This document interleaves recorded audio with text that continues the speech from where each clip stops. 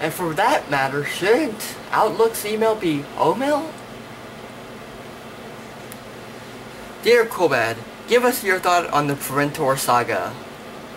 Ah, the Preventor Saga. What a ride. A painful ride. The first was easy. I had little to no help making that. The second one was better. I had a, I helped with the fight scenes here and there. The third, and the best, I had a lot to do.